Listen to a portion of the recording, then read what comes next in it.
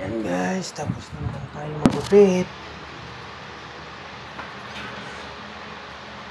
Siyempre, mabilis na naman po tayo. Trim lang naman po ang gupit niya, kaya mabilis lang po. I-hair lang po, yung nasa labas. Yung motor. Eh, lagi na tayong shoki dito guys.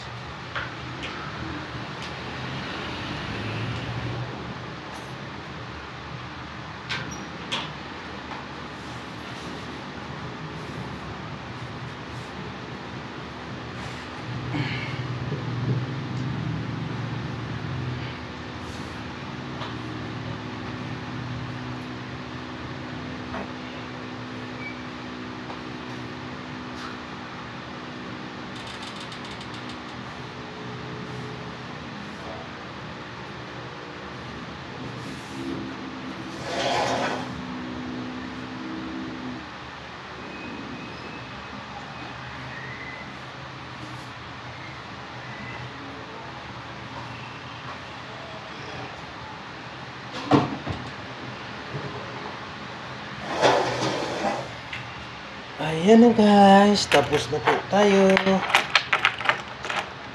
Nagwalis. Naglinis. Ayan.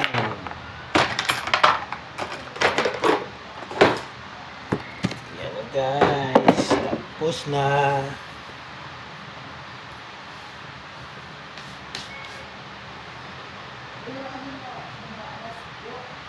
guys,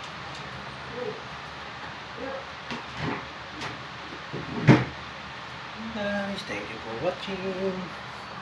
Stay late.